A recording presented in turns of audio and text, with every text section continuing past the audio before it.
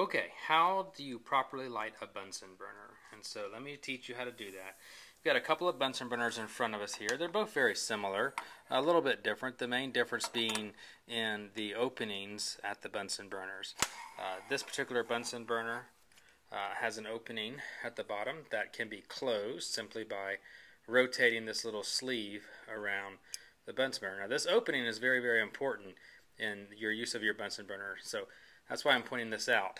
The other Bunsen burner, the opening, is closed uh, simply by screwing it down or is opened by screwing the tube up. Okay, now how do you properly light a Bunsen burner? Um, you can light a Bunsen burner with, if you have some skill with these tubes opened, but the easiest way to light a Bunsen burner is to close these holes. Um, when you close the holes, it makes it much, much easier to light a Bunsen burner. And so let me illustrate with this particular burner. Add a add a tube, gas tube to it. Let me readjust the camera. There we go. And so I've got the, the uh, tubes closed. And then what I'll do is I'll uh, use whatever I'm going to do to light the Bunsen burner. And I'm going to have that ready. In this demo, I'm going to use a lighter. Uh, lighters or matches or strikers. I, I think strikers, being able to use a striker is a real good skill, although st my students tend to struggle with them and fill the room with gas before they light the Bunsen burner. So I like to make lighters handy and matches handy for those who struggle with that. And so proper way to light a Bunsen burner is to have your ignition source ready to go next to the Bunsen burner. Uh, if you're using a uh, lighter, I go ahead and light it, okay? And then just go and very quickly turn the gas on. And you can see, you might be able to see that flame. It's kind of hard to see, but it is lit. Um, and having these the holes at the bottom closed it makes it easier to light. If you begin to open up those holes, you can see that the flame becomes uh, a sharper flame. We get that nice blue cone in there. If you continue to open the holes too much, uh, and this one won't do it at the moment, but sometimes it'll even blow the flame out. When I close the holes, we'll get a nice softer flame. So this is what I'd call a low heat flame, although it's very hot. And this would be what I would call a high heat flame. Uh, much hotter, the tip of that little blue cone is the hottest part of that flame. And so that's one example there. Turn it off at the gas source. Uh, demonstrate the other burner, just so you see both of them in action, both of them in use. And so here we go on this one. Again, easiest to light if you close that tube up. Get my ignition source ready. Turn the gas on. And there we go.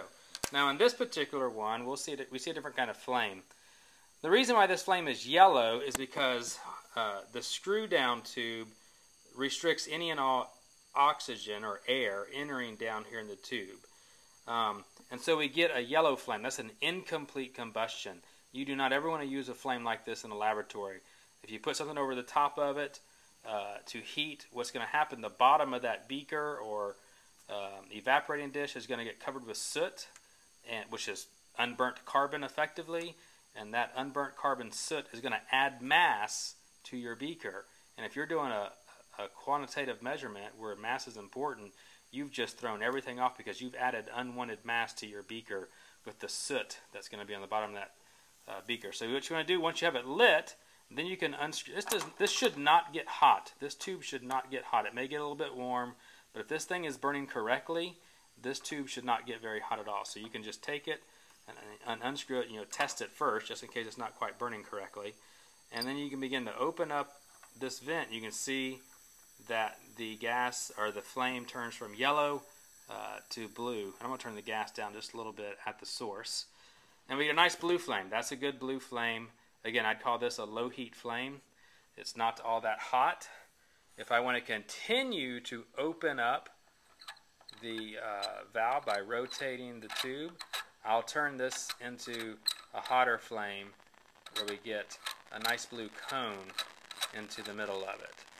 And you can continue to turn it quite a bit to open that flame up. So high heat flame If we want to go back to a low heat flame. We don't always want a high heat flame in chemistry, but sometimes we want low heat flames. We can close that down and let less air in there and we'll get a softer flame. Um, so then you want to turn it off. Don't blow them out. Go to the source, turn that gas off, and we're good. One thing about the source, uh, I see this happen a lot in class where kids over there with the lighter at the Bunsen burner waiting for it to, to light and someone else is over here slowly, slowly opening up this valve and the lighter can actually get pretty hot when someone's holding it and, and they burn themselves. No gas comes out of this vent at all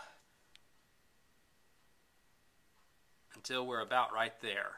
No gas is coming out here. And so if someone's over here just slowly, slowly turning this vent, nothing's happening. There's nothing going on until that thing gets all the way to about right here, gas begins to escape through the valve. So when you're ready to light that flame, open it up three quarter, no, two thirds of the way roughly, and then slowly open it up until you get some gas coming out of there. If you have a hard time lighting the flame and it just keeps blowing your match out or blowing your candle out, then you've got too much gas. If you open it up all the way up there, you're going to blow your match out usually. So don't open it up all the way. A little lower pressure on the gas to get it initially lit, and then you can open it up a little bit more if you want a higher flame. There you go, guys. That's how you light a Bunsen burner.